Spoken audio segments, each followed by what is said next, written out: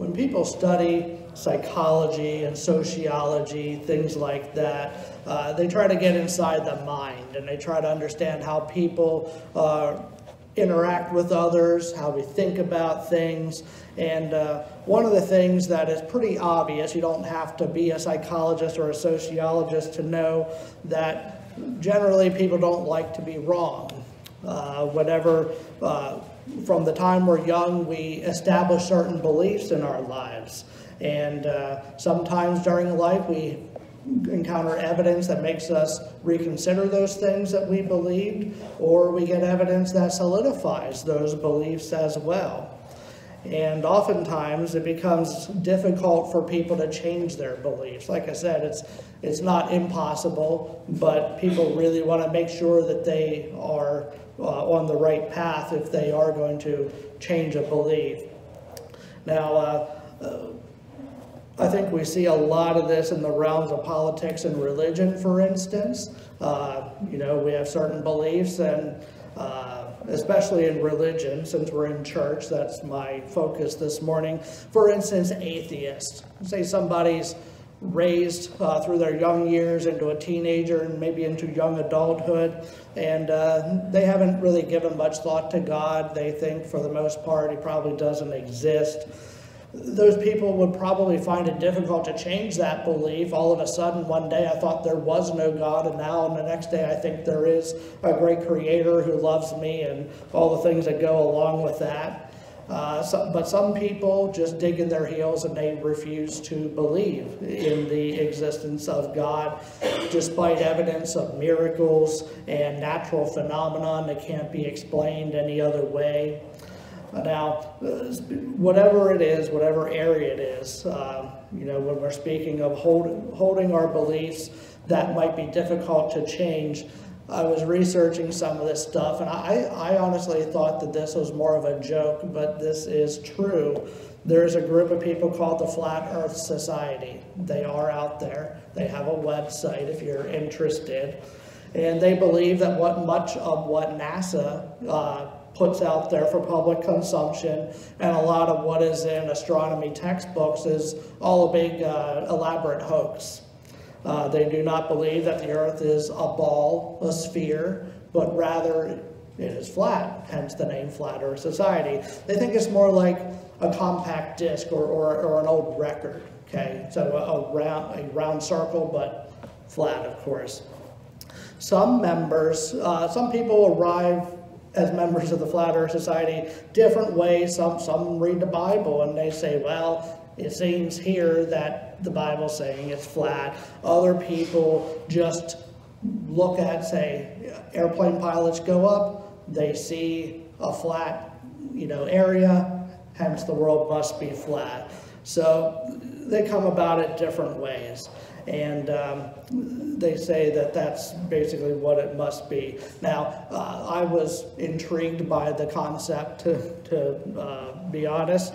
Um, I had a lot of questions at the beginning to try to simplify it. They say that rather than the North Pole and the South Pole being at the top and the bottom of the globe, they say the North Pole is in the middle of the record, okay? And from there, you have the coldest countries like Alaska and Siberia and uh, those, uh, the northern hemisphere, what we call. And then from there, it goes out towards the edge of the record. Well, my next question is what keeps all the ocean waters from running off the edge then? Is gravity not a thing in the Flat Earth Society? This is what how they explain that. They say that Antarctica then surrounds the outer edge of the record. And uh, Antarctica is nothing more than a 150 foot high wall of ice. I don't know that any how anybody measured that, but I don't want to overthink it, I guess. So that sort of keeps the water in, sort of like the edge of a bowl.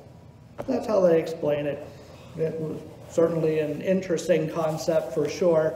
Um, but no matter what is in textbooks, no matter what's, you know, on the weather, you know, they show a picture of the globe and all that, they just they, they, they reason it away another different, uh, somehow, you know, some other way. Uh, I'm inclined to stick to my trusty globe, okay, uh, for what it's worth. And, but it's not just the flat earth society. This happens in all different areas of life people just don't want to be wrong. They don't want to change. And maybe some of these people honestly think that is the way that the earth is. So I don't want to stand in judgment of them either. I just think that there seems to be an awful lot of evidence to the contrary that is trying to, people are trying to sort of put a, a round peg in a square hole, or however they say that. That is sort of an odd maybe intro into the book of Job. And this morning we're going to look at the last of Job's three friends. His name is Bildad. And he actually was the second friend that you are introduced to if you read it from beginning to end. But I did skip him, and I mentioned that earlier when we looked at his third friend. Uh, they sort of take turns, and then Job answers each of them, and then the first goes again, and the second goes again, and so forth. So they keep this pattern.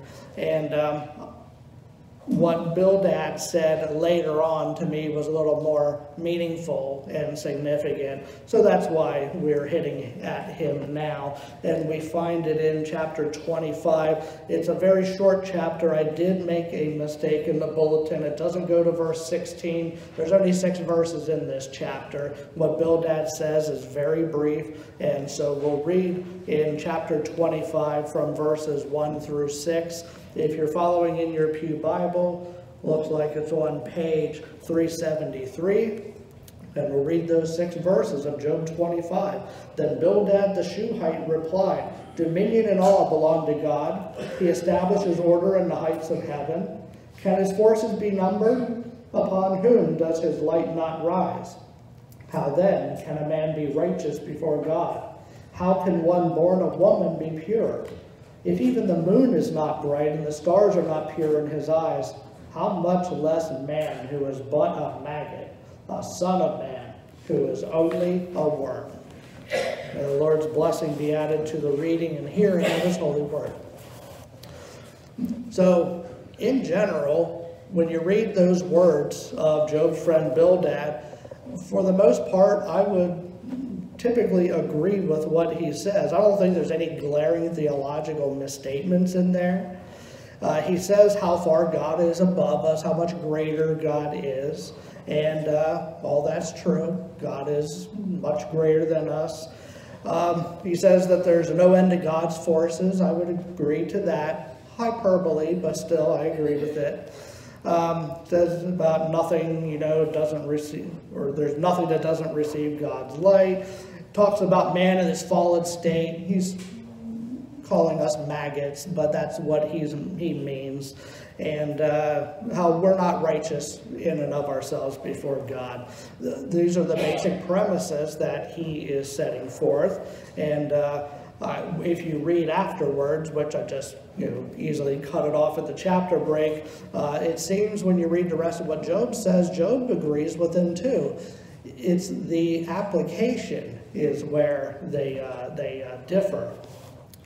And um, there is a book that I read maybe a year or two ago uh, by a Christian scientist named Hugh Ross, still alive today. And uh, he makes the claim in this specific book, he's written many books, by the way, but he makes a claim that there is evidence for the existence of God in nature. And he specifically looks at outer space. I've always been interested in astronomy, so that made me want to pick up this guy's book and see what he says. By the way, he doesn't talk about the flat earth people at all. Uh, he sticks with scientific fact. Uh, but for example, he says that many, there are many scientific facts that man knew first from the Bible, from God's Word. And only later, or even relatively recently in some cases, these things have been verified to be true by science. Yet man's known these things for thousands of years. So the thing is, how can that happen if God doesn't exist, if this isn't truly God's Word? And that's one of the points that Ross makes in his book. You know, were the people who wrote the Bible just really good guessers? you could argue in, okay, if it happened one little time, okay, you got lucky, but time after time after time, there's just so much in there that just boggles the mind. That could not have happened without the existence of God and God's inspiration of the Holy Scriptures. So in his book, he talks about the Big Bang Theory, okay, not the TV show, but the what you're taught back in school.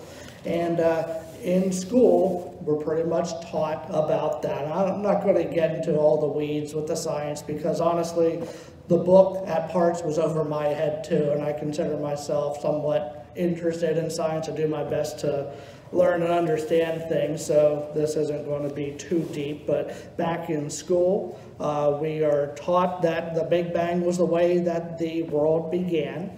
And uh, the thing is, though, and what Ross talks about, is that we call it the Big Bang Theory. Technically, it's not a theory because a scientific theory must be uh, tested and observed. Nobody can test the Big Bang, and certainly nobody was there to observe it. Now, there are reasons why people think that it happened, but people hear, oh, this is a scientific theory, so this means something.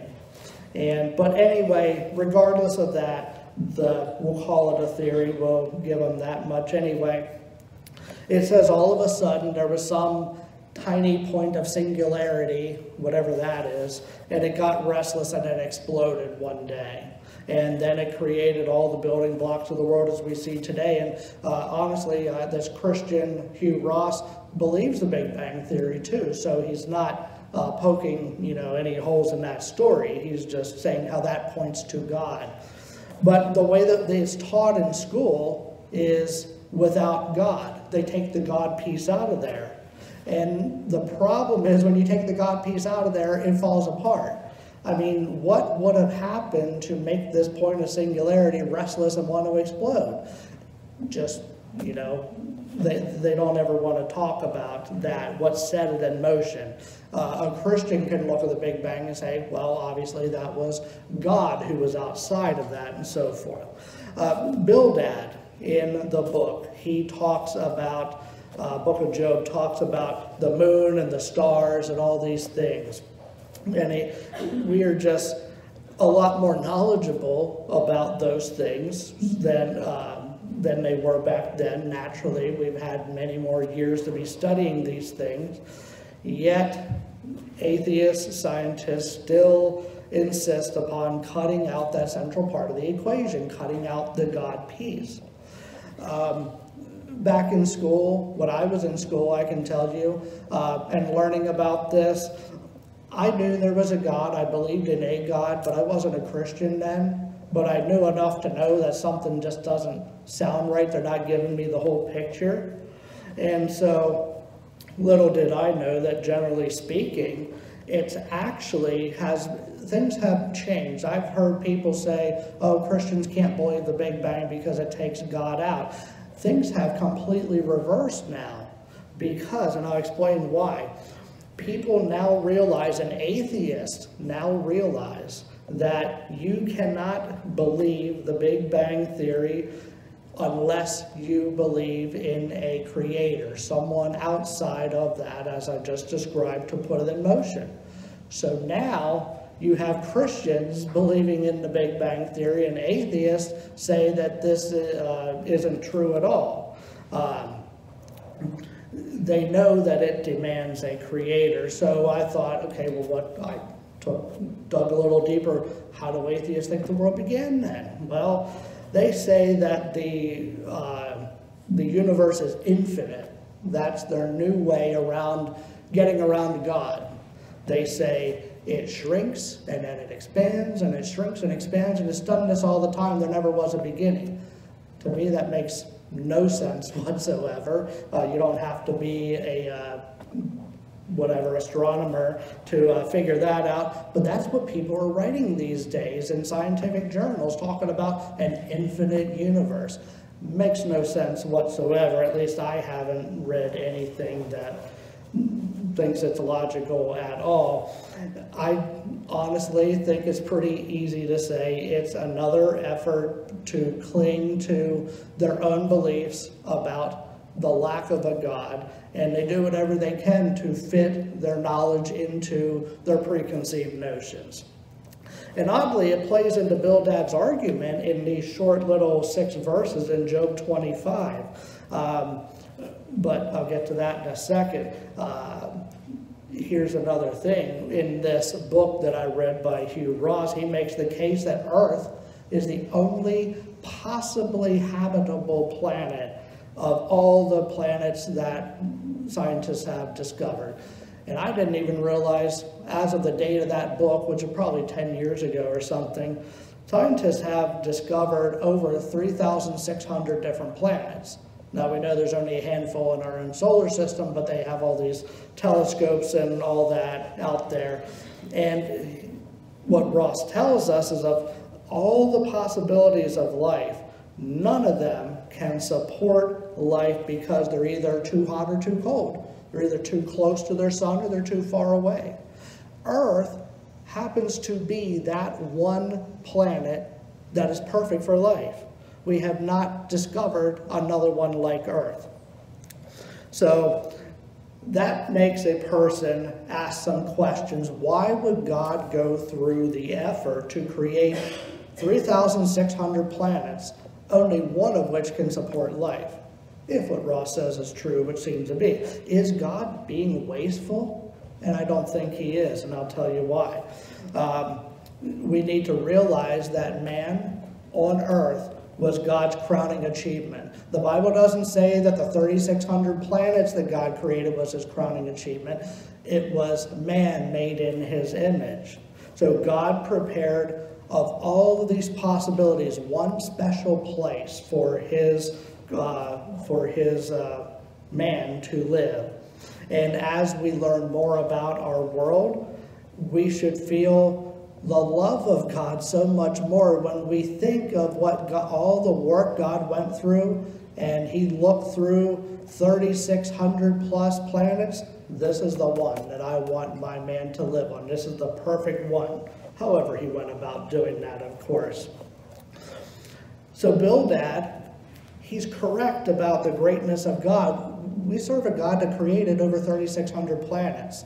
And he says the stars number into the billions. And God knows the name of each and every one of them, by the way. But where Bildad's correct about the greatness of God, he's wrong about the application of what he knows about God. He knows God is high above us. I said we should agree with that. But he doesn't allow for a God who makes a way for us to approach him personally. Um, you don't see that anywhere in his words. Uh, verse 4, he says, uh, How then can a man be righteous before God? Well, there is a way that we can. We know that now. He just didn't know it back then. And uh, it interestingly was what Job said earlier in his book. He said, Truly, I know it is so, but how can a man be righteous before God? Job was asking the same question, but in a different way. That's where I think Bildad's right and he's wrong at the same time. Uh, he's right because by nature we can't be righteous before him. That's what he was really talking about. But he's also wrong because uh, he doesn't talk about the Redeemer that we talked about uh, last week in chapter 19. Job said, I know my Redeemer lives. Bildad was just sort of ignoring that part of the equation. So Bildad asked this question, and he's probably asking it in a rhetorical way, not expecting a, an answer from Job or anyone else. How can a mortal be righteous by, before God? But we have an answer. And if I would summarize it, the answer is two words by proxy. And the word proxy is the power of a person authorized to act as a substitute for another. So Jesus is our proxy. That's how we are able to be righteous before God through Jesus, who is our substitute. That's the simple, you know, one minute uh, explanation to that, uh, that question. But there have been volumes, among volumes of books that have been written through the years talking about what that means. Back to what Bildad says again, he says man's a maggot Okay, we'll go with that. I would use different words, but a maggot and a worm in relation to God. And without, uh, without Jesus, without someone, you know, as a substitute, spiritually speaking, is probably a good comparison, you know, in our unregenerate state. But uh, unlike Bill Bildad, I wouldn't suggest going around calling people maggots and worms just because you don't know God. Not the greatest way to evangelize, uh, for one thing, but uh, Bildad tends to just have his personality shines through here. Um, trying to been sort of over the board here, just trying to lay some things out uh, to get you to sort of think, maybe expand on these six verses in a way, but pull it together, not so much talking about what Bildad says, but how he says it. And when somebody's suffering like Job, there's two sides to a coin. One side's the knowledge of God and knowledge about God. The other side is you have sort of the emotional side, I'll call it. And it's always best to try to strike a balance between the two. Uh, do we always accomplish that? I'm sure we don't, but that should be what we should try to do. See, some people have no knowledge of God and no compassion. Therefore, I basically call them atheists, okay? They don't know God, don't really care that much about other people in the big scheme of things, okay? And you, it's a generalization. Then uh, you have people with a lot of compassion, but they have no knowledge of God whatsoever. These are sort of the people that I see out there who sort of say, well, doesn't matter what you do, God accepts you as you are, God made you that way, those kind of things. They're very loving towards people. They want people to feel accepted, but that they're completely wrong about the God part of it. so that's another uh, class of people. Um, you then have people who have knowledge but lack the compassion. And sort of like Bildad, he basically what he knew about God was true, but you come off as very harsh and abrasive towards people. And uh, Job didn't need that at that time either. Again, he's trying to recover and understand things and uh, didn't get a lot of compassion from any of his friends. So this kind of person like Bildad looks at God as the judge, but not like the compassionate redeemer that he also is, when in fact God is both. So the best scenario is what we don't really see here, and that would be what we should try to achieve, the balance between knowledge of God and compassion. So if somebody's struggling, just tell them how a compassionate God loves them, and if their struggles uh, even if their struggles would be the result of a personal sin, maybe somebody got drunk and got in an accident and now they're recovering. Um, you can also uh, tell them that nothing is above God's ability to forgive, too. So you're not saying, oh, it doesn't matter what you did, God's going to love you anyway. That's not true. So we just try to strike a balance. And we don't excuse things that are wrong either, but encourage repentance and knowledge of God. So when Job's friends went wrong in many ways, but generally, they didn't realize that sometimes bad things happen when people are living a righteous life.